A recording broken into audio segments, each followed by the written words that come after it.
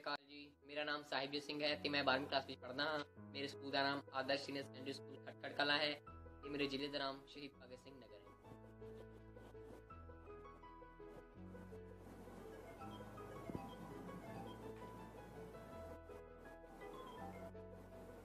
Hello?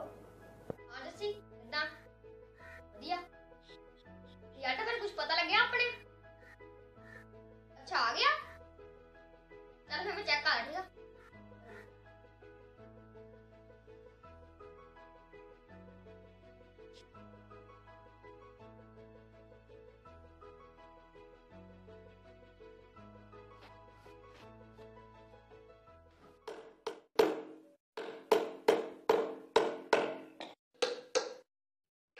Daddy ਸਤਿ ਸ਼੍ਰੀ ਅਕਾਲ। ਸਹੀ ਗੱਲ ਹੈ ਜੀ ਸਤਿ ਸ਼੍ਰੀ ਅਕਾਲ ਸਤਿ ਸ਼੍ਰੀ ਅਕਾਲ ਬੈਠੋ। ਜਿੰਨੇ ਮੈਂ ਖਾ ਗਿਆ ਬੜੀ ਖੁਸ਼ੀ ਸੀ। ਜੀ ਮੈਂ ਬਾਹਰ ਨੂੰ ਜੋ ਵਧੀਆ ਨਾ ਪਤਾ ਬਹੁਤ ਵਧੀਆ ਬੇਟਾ ਬਹੁਤ ਵਧੀਆ। ਉੱਤਰ 12ਵੀਂ ਤੇਰੀ ਹੁਣ ਕਲੀਅਰ ਹੋ ਗਈ। ਹੁਣ ਅੱਗੇ ਸੋਚਿਆ ਕੀ ਕਰਨਾ? ਹੈ ਡੈਡੀ ਜੀ ਅਜੇ ਮੈਂ ਕੁਝ ਸੋਚਿਆ ਨਹੀਂ ਹੈਗਾ।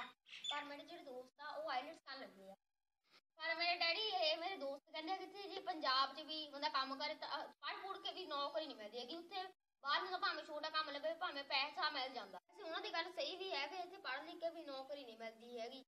ਹੁਣ ਆਪਣਾ ਚਾਚਾ ਦੇਖ ਲਓ, ਉਹਨੇ ਬਹੁਤ ਬਹੁਤ ਜ਼ਿਆਦਾ ਪੜ੍ਹਿਆ ਆ, ਪਰ ਹੁਣ ਦੇਖ ਲਓ, ਉਹ ਵੀ ਦਿਹਾੜੀ ਤੇ ਲੱਗਾ ਆ। ਤੇ ਹੁਣ ਮੈਂ ਵੀ ਇਹੀ ਚਾਹੁੰਦਾ ਆ ਕਿ ਮੈਨੂੰ ਵੀ ਤੁਸੀਂ ਆਈਲੈਟਸ ਕਰਾ ਕੇ ਬਾਹਰ ਭੇਜ ਦਿਓ। ਵਾਹ ਪੁੱਤਰਾ ਵਾਹ, ਮੈਨੂੰ ਤੇ ਤੂੰ ਇਹ ਉਮੀਦ ਨਹੀਂ ਸੀ।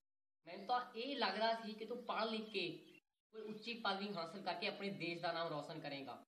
ਪਰ ਤੂੰ ਮੈਨੂੰ ਅੱਜ ਨਿਰਾਸ਼ ਕਰ ਦਿੱਤਾ।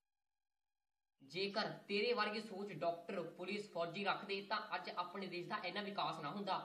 ਆ ਹੁਣ ਦੀ ਘੜੀ ਦੇਖ ਲਓ, ਇੰਨੀ ਮੁਸੀਬਤ ਦੀ ਘੜੀ ਜਿਸ ਵਿੱਚ ਕਰੋਨਾ ਵਾਇਰਸ ਨਾਲ ਲੜਨ ਲਈ ਸਾਡੇ ਡਾਕਟਰ ਸਾਡੇ doctor, police front line warrior ਬਣੇ ਹੋਏ ਨੇ, ਜੋ ਨਾ ਹੁੰਦੇ, ਤਾਂ ਆਪਣਾ ਪੰਜਾਬ ਅੱਧੇ ਤੋਂ ਜ਼ਿਆਦਾ ਕਰੋਨਾ ਨਾਲ ਪੀੜਿਤ ਹੋ ਜਾਣਾ ਸੀ। ਬਸ ਮੈਂ ਤਾਂ ਹੁਣ ਇਹੀ ਚਾਹੁੰਦਾ ਆ ਕਿ ਤੂੰ ਪੜ੍ਹ ਲਿਖ ਕੇ ਕੋਈ ਵੱਡੀ ਨੌਕਰੀ ਹਾਸਲ ਕਰਕੇ ਪੰਜਾਬ ਦਾ ਨਾਮ ਰੌਸ਼ਨ ਕਰੇ।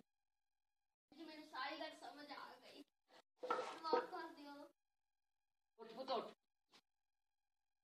ਸ਼ਾਬਾਸ਼ ਕਿ ਹੁਣ ਮੈਂ ਇੱਥੇ ਦੇਸ਼ 'ਚ ਰਹਿ ਕੇ ਪੰਜਾਬ 'ਚ ਪੜ੍ਹਾ ਬੜੀ ਵਧੀਆ ਜਿਹੀ ਨੌਕਰੀ ਕਰਾਂਗਾ ਤੇ ਮੈਂ ਪੰਜਾਬ ਦਾ ਨਾਮ ਰੋਸ਼ਨ ਕਰਾਂਗਾ ਸ਼ਾਬਾਸ਼ ਪੁੱਤਰਾ ਸ਼ਾਬਾਸ਼ ਮੈਂ ਤੇ ਤੋਈ ਨਹੀਂ ਚੱਲ ਆ ਜਾ अगर आपको हमारी ये वीडियो पसंद आई है तो इसको लाइक करें सब्सक्राइब करें और बेल आइकन को दबाना ना भूलें